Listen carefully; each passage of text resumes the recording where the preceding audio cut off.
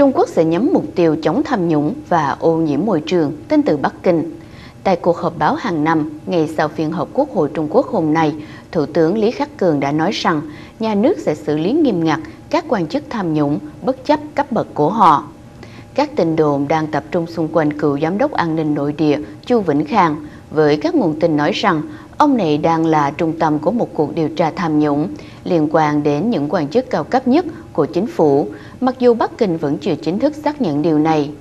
Ông Lý Khắc Cường cũng cho biết nền kinh tế của Trung Quốc đang phải đối mặt với những thách thức nghiêm trọng và có thể sẽ trở nên phức tạp hơn trong thời gian tới.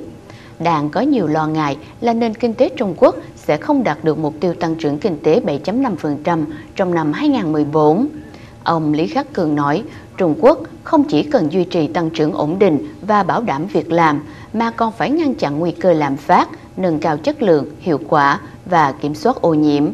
Bắc Kinh muốn tạo ra 10 triệu việc làm mới trong năm 2014. Để làm điều này, nền kinh tế phải tăng trưởng 7.2%. Khoảng 13 triệu việc làm mới đã được tạo ra trong năm ngoái, khi nền kinh tế đã tăng trưởng 7.7%. Ông Lý Khắc Cường nói, trận chiến chống ô nhiễm là một trận chiến lâu dài. Khói mù bao phủ nhiều thành phố lớn của Trung Quốc trong những tháng gần đây và phần lớn nguồn nước của quốc gia đã bị các nhà máy ô nhiễm đến mức không còn sử dụng được, ngay cả cho công nghiệp. Ông Lý Khắc Cường cũng đã thừa nhận có những bất đồng với Hoa Kỳ trong một loạt các vấn đề bao gồm nhân quyền, tinh tặc, tranh chấp thương mại và sự quyết đoán quân sự ngày càng tăng của Trung Quốc trên các vùng biển tranh chấp với các nước láng giềng. Trung Quốc đang có những tranh chấp chủ quyền với Nhật Bản ở biển Hoa Đông và với các nước Phi Luật Tân, Việt Nam, Đài Loan, Mã Lai và Brunei ở Biển Đông.